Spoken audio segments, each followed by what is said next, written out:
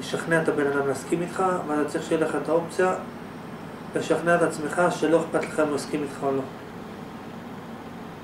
וזה, בלי זה זה לא מספיק טוב. כנ"ל לגבי כשהמציאות נגד רצונך. באופן כללי, כשהמציאות נגד רצונך, מה עדיף? שתשנה אותה, או עדיף שתשנה את רצונך מפניה?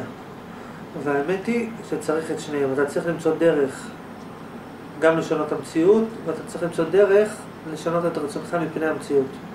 כשאתה רואה קיר, אתה לא יכול לעבור דרך הקיר, מה עדיף? שתקבל את זה שאתה לא יכול לעבור דרך הקיר, או שתמצא דרך לעבור דרך הקיר? עכשיו האמת היא, עכשיו האמת היא, שלמצוא דרך לעבור דרך הקיר, זה נחשב לקשה, נכון? ולהסכים את זה שאתה לא עובר דרך הקיר, זה נחשב לקל. אבל האמת היא שלקבל בלב שלם את זה שאתה לא עובר דרך הקיר, זה קשה בדיוק כמו למצוא דרך לעבור דרך הקיר. אפילו יותר קשה. עוד פעם, להגיד, אין בעיה, אני לא יכול לעבור דרך הקיר סבבה, זה אפשר. אבל באמת בלב שלם להיות מרוצה מזה שאתה מוגבל ולא יכול לעבור דרך הקיר, זה יותר קשה מאשר לעבור דרך הקיר. אה? כמה יותר? כי לעבור דרך הקיר זה מגבלה טכנית, פיזית.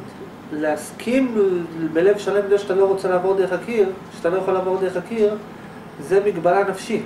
כי יותר מחויב, נסביר, כי לעבור דרך קיר ברמה הטכנית, זה לא דבר שאינו אפשרי מצד ההגדרה.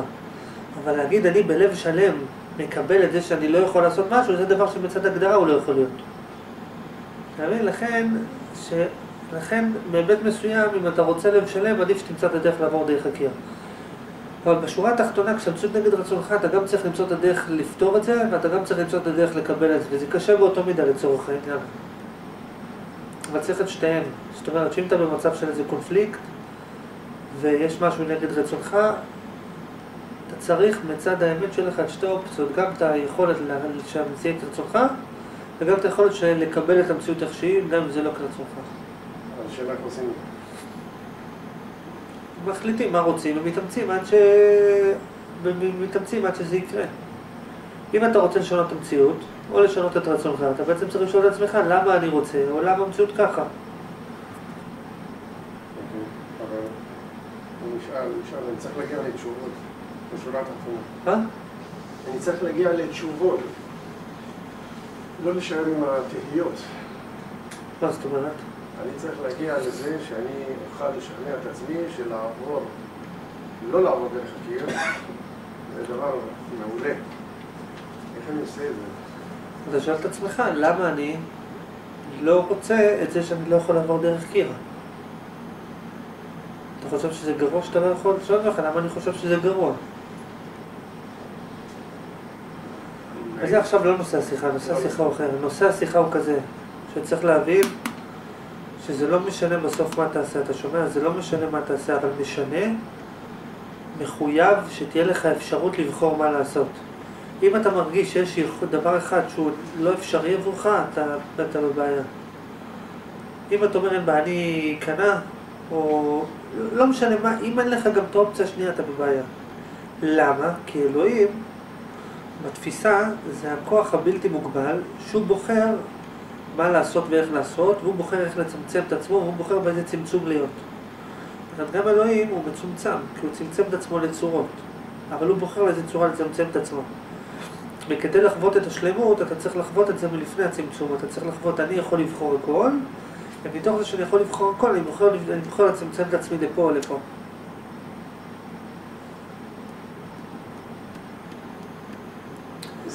לכן צריך להתאמץ להיות מסוגל גם לשנות המציאות, לא פחות ממה שאתה מתאמץ, להיות מסוגל לקבל את המציאות. ואם מישהו לא מסכים איתך, אתה צריך להתאמץ, להיות מסוגל לשכנע אותו, כמו שאתה מתאמץ, שלא יהיה אכפת לך אם תשכנע אותו או לא. ובפרט שבשביל להצליח בשני הדברים צריך שכל. המפתח להכל הוא שכל. אם היה לך מספיק שכל, היית יודע איך לשכנע אותו והיית יודע איך להסכים לזה שהוא לא משוכנע. זה אותו דבר. זה אותו, זה אותו, בסוף המפתח לשני המהלכים הוא אותו, הפתרון הוא אותו פתרון. אם היה לך שכל והיית מבין איך זה עובד, אז היית מבין איך לשנות את זה. ולכן אם אתה לא יודע איך לשכנע את הבן אדם, זה סימן שאתה גם לא בלב שלם מקבל את זה שהוא לא ישתכנע. כי, לך, כי בשביל לקבל את זה בלב שלם שהוא לא ישתכנע, אתה צריך שיהיה לך שכל מכאן ועד הודעה חדשה. אם היה לך שכל מכאן ועד הודעה חדשה, גם היית יודע גם איך אתה יכול לשכנע אותו. ואם אתה אומר, תראה, אני לא יודע איך לשכנע אותו, אבל אני יודע לקבל את זה איך שזה. אז אתה לא באמת מקבל את זה. כי בשביל לקבל את זה איך שזה, אתה צריך שכל כל כך גדול שיכול לראות את השלמות בתוך החיסרון. אם יש לך שכל כל כך גדול שאתה יכול לראות את השלמות בתוך החיסרון, אתה, שזה בעצם להפוך את החיסרון לשלמות, אז גם יש לך שכל להפוך את זה שהוא לא ישתכנע למשוכנע. כי לקבל את המציאות בלב שלם, צריך שכל ענק. צריך שכל שלוקח חיסרון ורואה בשלמות, שזה דבר והיפוכו. אז אם אתה מסוגל לשכנע את עצמך שדבר והיפוכו זה אחד, אז אתה לא מסוגל לשכנע מישהו בדבר יותר קטן. אם אה, אני מבין נכון מה שאתה אומר, אז אה, רצו להגיע למצב שיש בחירה, שיהיה לי בחירה. אבל אה, אני זוכר שדיברנו על זה שיש בחירה ואין בחירה. אז איך זה מסתדר? איך זה מסתדר עם העניין הזה? אנחנו מדברים על פרספקטיבה שיש בחירה. אוקיי. לא, אנחנו מדברים על פרספקטיבה שיש הבדל בין יש לאין, ושאתה רוצה להגיע ליש. אם אין הבדל, אז זה משמעות למה שדיברנו. אם זה אין הבדל בין יש בחירה לאין בחירה, זה לא משנה מה דיברנו עכשיו, כי אין לזה שום משמעות. אני אבל רגע רוצה להסביר עוד פעם, שתבינו טוב טוב. אם אתה לא מסוגל לשכנע את הבן אדם, זה אומר שאין לך מספיק שכל. ואם אין לך מספיק שכל, אתה גם לא תצליח לשכנע את עצמך שלא אכפת לך שהוא לא ישתכנע. אותו מנגנון, ואדרבה, ואני אסביר עוד דבר, ואדרבה, לשכנע את הבן אדם השני, זה... לשכנע את הבן אדם השני זה כרוך ביכולת שלך לשכנע את עצמך שלא אכפת לך. זאת אומרת, מה, מה זה שכנוע? מה זה שכנוע? שכנוע זה היכולת לקחת דבר ולהפוך אותו. מה זה שכנוע? במה תלוי היכולת שלך לשכנע מישהו במשהו? מה זה תלוי? אתה שומע? במה תלוי היכולת שלך לשכנע אנשים דברים? מה זה תלוי? זה תלוי ביכולת שלך... עצמך. נכון, תלוי ביכולת שלך לקחת דבר ולראות את ההפך שלו. תלוי ביכולת שלך ותלוי ביכולת של הגמישות המחשבתית שלך לקחת דברים ולראות אותם בצורה הפוכה. אם אתה רואה משהו ואתה לא מצליח לראות את זה מאוד זווית, אז איך תשכנע מישהו בזוויות נוספות? עכשיו, ככל שאתה מסוגל לקחת את מה שאתה בטוח שהוא נכון, בטוח שהוא טוב, בטוח שהוא רע, ולשכנע את עצמך בהפך, ככה שאתה מתרגל את זה, אז כשמישהו בא מולך, אתה אומר מה הוא חושב, אין בעיה, אני אשכנע אותו את ההפך. למה? כי אתה אומר לעצמך, אם אני הייתי הוא, מה אני הייתי צריך להגיד לעצמי כדי לשכנע את עצמי? ואז אתה אומר לו את זה. אתה מוצא את הפרצה, אתה אומר, אם אני הייתי הוא, מה הייתי חושב, מה הייתי אומר, אבל דרך זה אתה משכנע אותו. אבל אני מסביר עוד פעם, שלכן זה אותו דבר, לכן הקושי לשכנע את עצמך הוא בדיוק כמו הקושי לשכנע מישהו אחר. מה אתה מבין?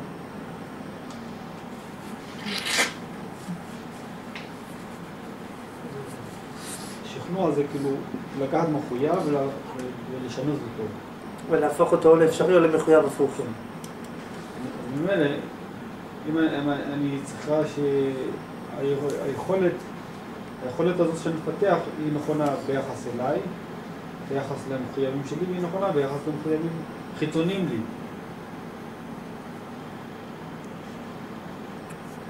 הבנו את הדבר?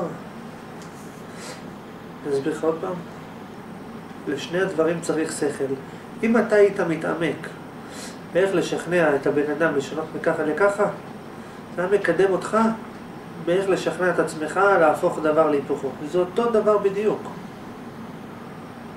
עכשיו, זה לא מחויב שתשכנע אותו, כי זה לא מחויב שתהיה כך או אחרת, אבל מחויב שתהיה מסוגל לשכנע אותו. בסוף אתה יכול לבחור מה בא לי, לשנות את המציאות או לשנות את רצוני מפני המציאות, אבל מחויב שתהיה מסוגל לשנות את המציאות או את רצונך.